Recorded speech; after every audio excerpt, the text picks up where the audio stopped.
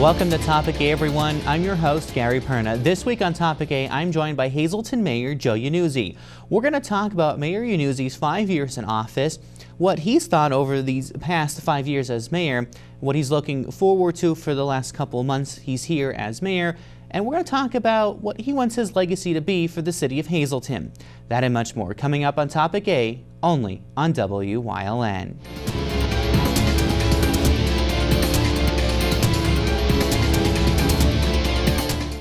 During these changing times, is your insurance program up to date? I'm local Allstate agent Gary McNeilis. I invite you to come into our office or give us a call. We'll help you be sure that you have the proper coverage to take care of all your family's needs at a price you can afford. Now more than ever, you need to be in good hands to protect everything that's important to you. Our team of insurance professionals and I will be honored to serve you. Are you in good hands?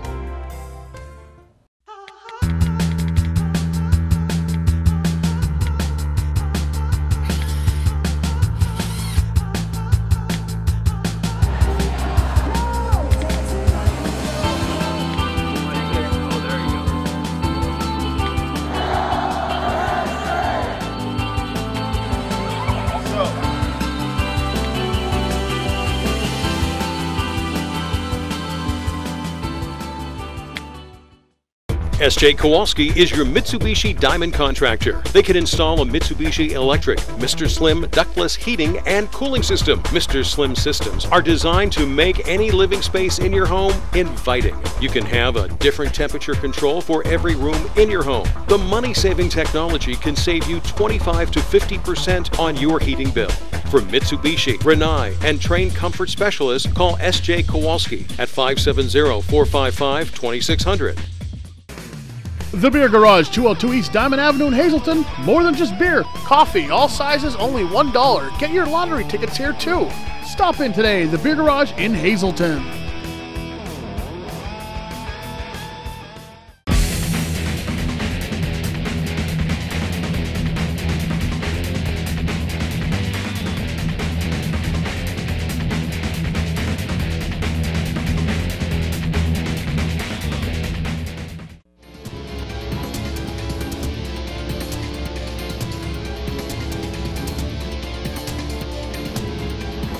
Welcome back to Topic A, everyone. I'm joined by Hazleton Mayor Joe Yannuzzi. And Mayor, I've had you on the show a couple times. Thanks for coming back. Thanks for having me. Um, I reached out to you a couple weeks ago and I said, hey, Mayor, I, I want you to come on the show uh, and let's talk about some of the things that you've accomplished. Um, you know, five years as mayor, uh, some time you uh, spent on council, and, and uh, you know, what your hopes are for the city moving forward.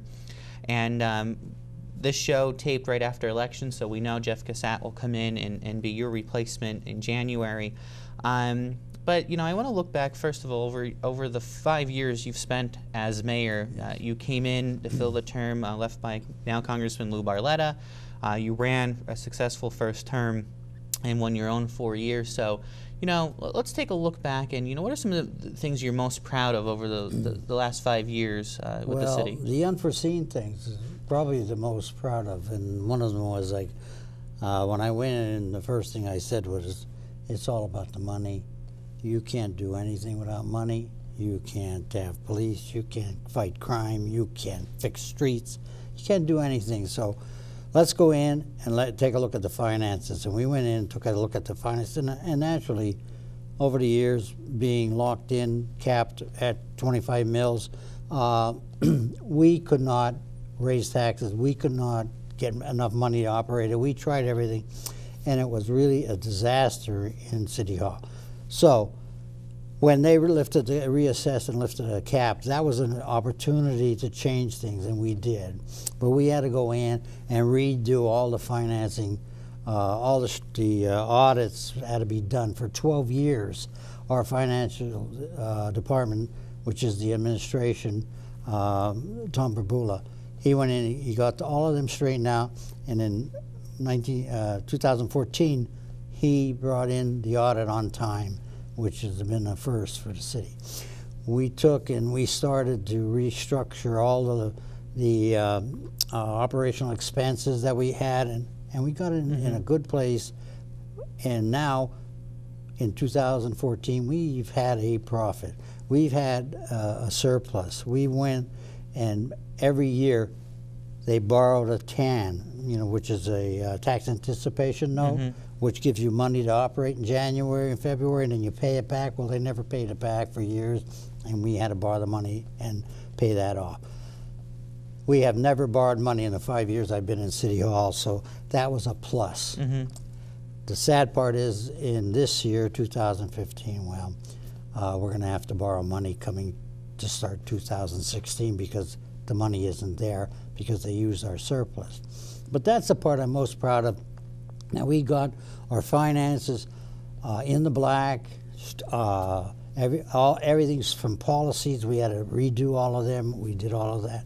But I'm very proud to say that I had a great group of uh, directors, and I, we, I call them my staff, but they each one directed a department, and uh, they did a fine job in restructuring. Uh, we put a new chain of command in every department. Uh, we've turned departments around. We, we've uh, taken the airport and made Yeah, money there. So that's money, money, money. It's all about the money. Uh, we've done a lot of upgrades in um, our equipment. Uh, the, when I went in, you know, not having the money Right. that the previous mayors did not have, our equipment was really in bad shape. And we went in, we did uh, eight or nine new vehicles in the police department. We bought plow trucks in the uh, highway department. Uh, buses, we, we bought about three or four new buses. So we just kept upgrading every piece of equipment. Getting back to the highway department, we've done, we got a, um, an asphalt uh, recycler we, we bought. We have, uh, it's an oil spreader for sealing. Uh, we've done all the uh, lawn equipment because we have like eight um, playgrounds that we cut. So we got all new equipment. So we just keep doing that. And now I think it's in a great position now to, to uh, the next mayor to move uh, the city forward. So I, I know, you know, talking with you over, over the past couple of, you know, the last two years really, um, I've probably been in your office more times interviewing you and talking than I did any other I mayor. thought you worked for the city. Yeah, some people thought that at times. um, y- you know, but the, the one thing you've always said you're proud of, you know, you were able to get the city on track, and to do those little things that people wouldn't notice. Yeah, you, when you have to go out and buy a plow truck, or you have to, you know, buy a police car. You know, we saw those six brand new SUVs that came through for the police department um, that at the time, you know, were, were the greatest thing out there uh, for them. You know, we saw a new ladder truck come in with the fire department, and you know, especially um, the CD uh, funding uh, with, with Fallon uh, there. You know, a lot of um, some homes were taken down. You were able to to remodel some homes, pave some streets. So, you know, a lot of that financing, getting the house back in order, led to moving the city forward uh, by a little bit. Yes, and when I first uh, went on council in 2000, uh, 2003, the uh, CD was like a million 2 When I now I'm leaving, it's un, it's six hundred thousand. I mean, every year it dropped, Yeah. and every year we had to make up because that's the money you're supposed to use for. Uh, uh, other things Right. than, than your operation of it. And we've done that and done it well. And uh, Fallon's uh, firm did a great job in maneuvering it and uh, getting a, an even budget so we spend that money equally. So I'm proud of that. I'm also proud of the downtown. I mean, downtown, I've said that in my uh, statements too. I thought the heart of the city is downtown. I think when, this, when the city uh, downtown develops and improves, jobs are created, activities created, and it sort of ripples through the city. Now, I was concentrating, concentrating on downtown, but they were saying, well, I should be concentrating on the other ones. Well, I was trying to get the first one done. Mm-hmm. You know, you can't do it all at once. Let's get Broad Street finished. Let's get all this the activity happening downtown. and you know, you don't see these things, but since the downtown has developed, our mercantile taxes went up. We receive more mercantile tax now because of the businesses that have opened, but people don't see that. Right. But if you look at our budgets uh, and look at our uh, financial statements, you'll see that our income improved on the mercantile. Now that's because of downtown businesses. So uh, we were trying to move and, and, get that ripple and work our way out to Alta Street and uh, the Heights. But downtown is really beautiful.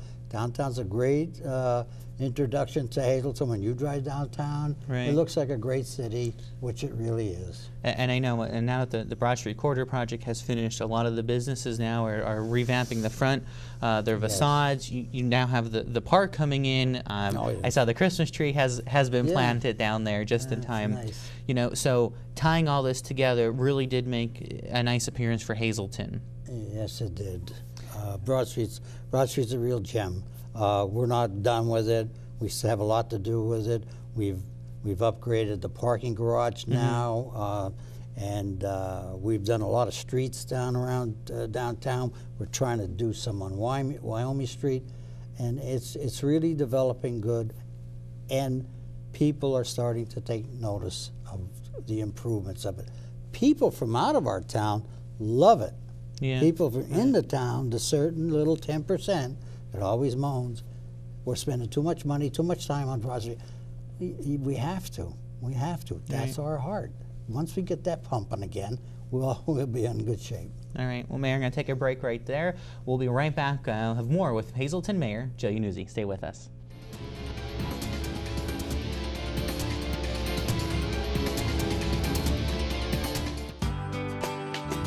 All Care Home Care, providing quality in home care since 1986.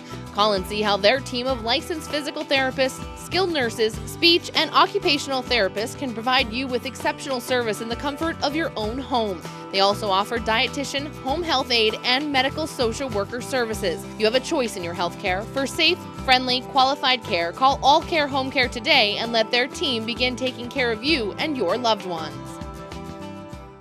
Family owned and operated, the experienced professionals at Lehigh Tire have served the residents of the greater Hazleton area for over 55 years.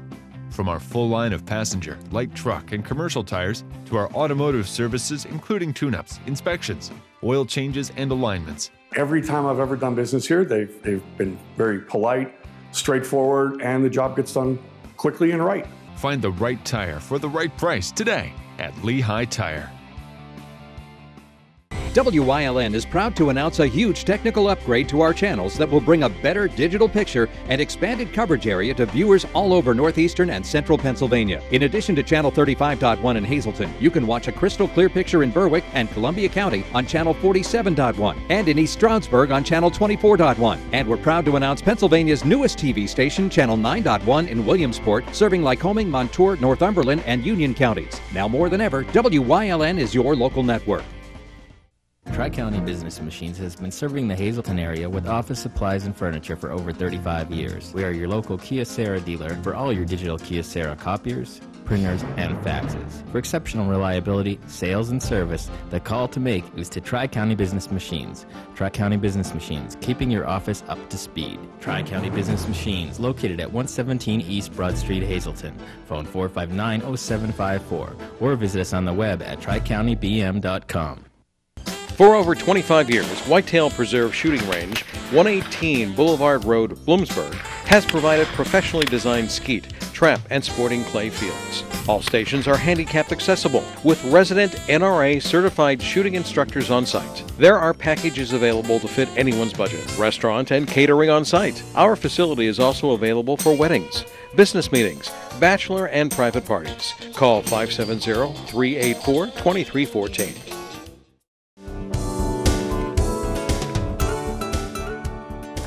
Join us this week on Let's Talk Chiropractic. The topic is sleep, how to get a good night's of it, and if you don't, what it can do to your body. Dr. John and Dr. Stacy have some great tips, both in habits and some supplements that you could try that'll help you get a good night's rest. That's coming up this week on Let's Talk Chiropractic. Join us.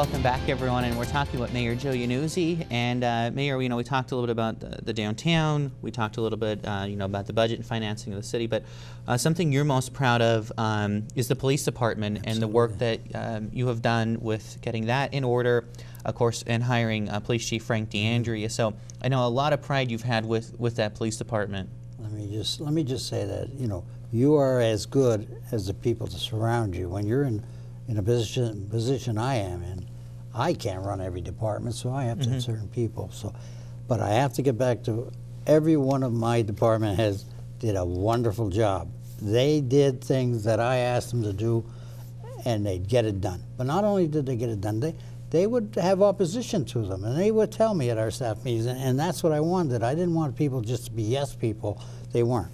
But Frank DeAndrea is it was a big switch in the history of the police department. In the police department, the chief was always from within, mm-hmm. and that's a good idea for promotions. But there's we restructured the whole police department that you can move up in rank, and we changed it to you pass the test, mm-hmm. you get the highest score, you are promoted. Not because of who you are, who your uncle is, or whatever it is. Right. You get promoted by that. And Frank did that when he came in. But I took Frank because he was an outside officer in the state police. Right. He wasn't in the police union. Normally, you take the man out of the police union, you put him as chief. He's in chief for four years. He runs the department, but he still has his loyalty to the union Right. because whatever he does and decides in that, he loses his job because a new mayor comes in. He goes back into the union, so Right. he's not going to ruin that house that he has to go back and live in. So that to me was one distraction. I'm not saying that police chiefs did that, but Frank came in and Frank took an administrative job. He was the administrator of that department, and he went in and found lots out of place. We had one lieutenant, one or two sergeants, and that was it. So we restructured the whole police department. We, Frank did, all new uh, regulations. Uh, so then we started to look for ways of getting new equipment because we had old guns.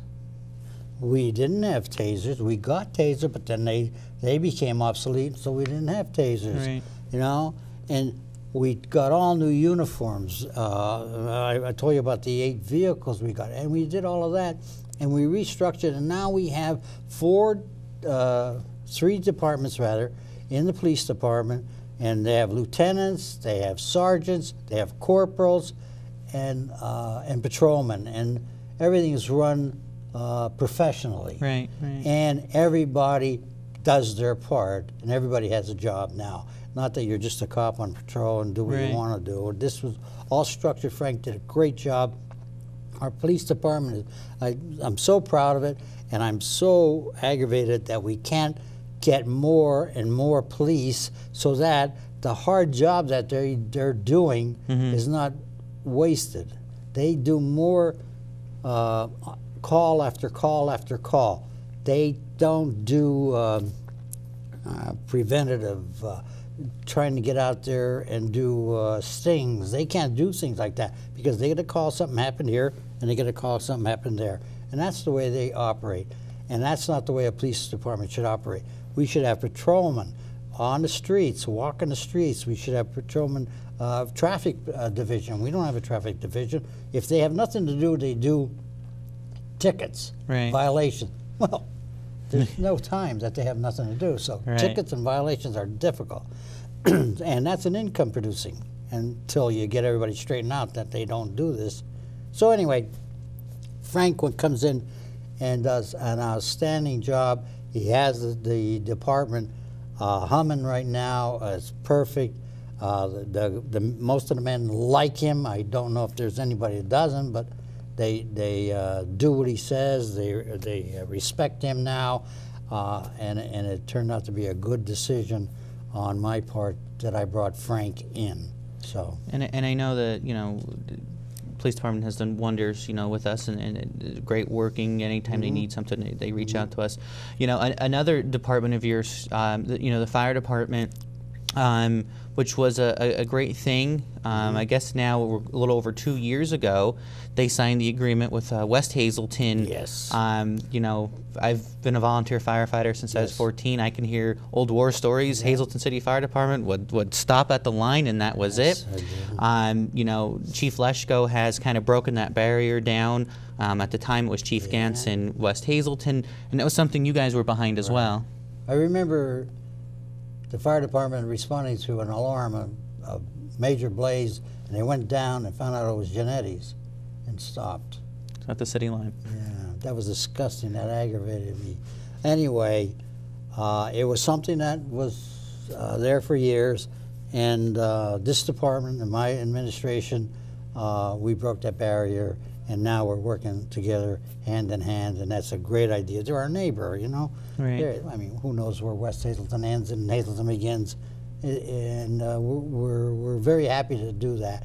But when I took over the fire department, to me was well organized. Uh, they had a great leader there with uh, Donald Leshko, and you know, and they had a lot of volunteers. Thank you for volunteering because you don't get paid for that, and that's a dangerous job and a necessary job. So thank you. But uh, we have a problem getting volunteers.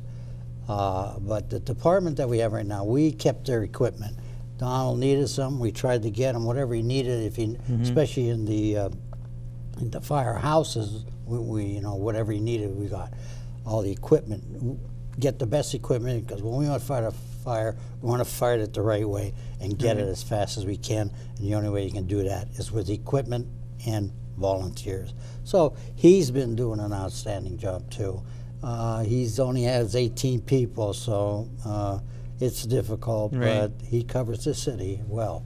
Uh, Another department I know we're very proud of, and a lot of work and time and effort's gone into it, is, is the code slash health department. Now, um, you, you know that kind of went under the police department, but recently just it came back out of its own department, and uh, you know a, a new chain there, and also a, a lot more of an effort push out to getting the codes enforced. Well, we had uh, the code department was operating all by itself. Everybody did their little thing, whatever it was, and it operated. So what I wanted to do was, I had people walking all over City Hall looking to pay this. You go there to third floor, you pay that. You go down to first floor, you pay this. You go to.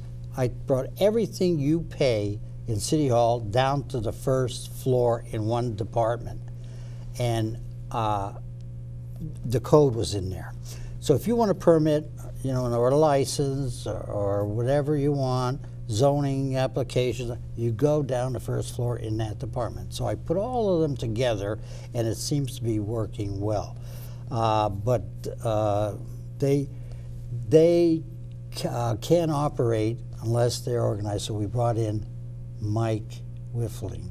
He uh, is sort of the supervisor, was sort of the supervisor of it, but a lot of the code is going to the magistrate Right. and actually being the prosecutor. If you have a violation here and you appeal it at your house and you appeal it, I come up and have to prosecute you because I'm the one who wrote the ticket out and I'm the one that has to follow through, just like the police do. So I said, Frank, get in charge, straighten these guys out, make them be able to defend or prosecute uh, the person uh, that caused the violation. And he did. And he organized it. And he got it all straightened out. And it took quite a while. Right. And he was doing this at the same time he was doing the police department, which was an outstanding job for both departments. And we just finally got everything settled. We got it together. I brought in uh, Jim Ferry as a code enforcement officer, and I told him that maybe his position should be to watch over the code, Right. and Mike take co- take care of. There's a big, big uh, job in the ordinances and, and looking for the problems in the ordinances and setting up the procedures and policies. And Mike is doing that, and Jim Perry's uh, doing, and it's working out well.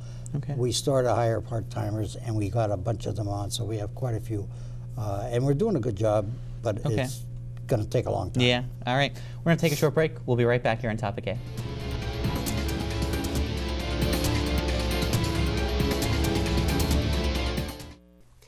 It always feels good to pull my own part.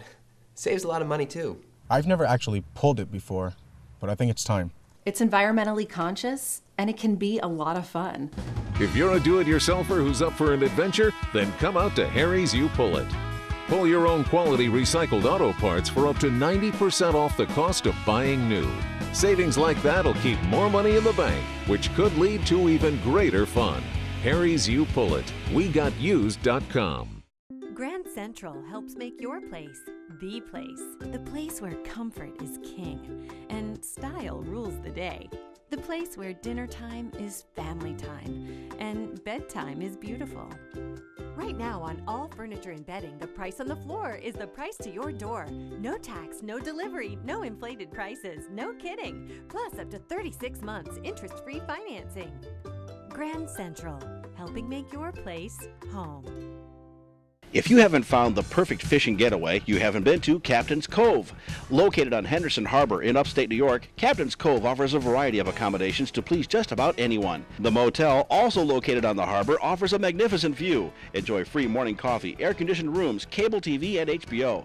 The cottage can accommodate up to eight people with three bedrooms, a complete kitchen, washer dryer, two full baths, air conditioning, an outside grill and picnic table. Call us today for rates and information at 1 800 824 FISH. Join us this week on Women Today. Hazleton now has a level four trauma center. Its coordinator is going to be here to tell you all about it. We've got a wonderful peach chardonnay from Simply Homebrew. Kathy's going to make an amazingly impressive dish. We've got more winners and a very sweet, dog loving young woman on the move. It's all coming up this week on Women Today. Join us.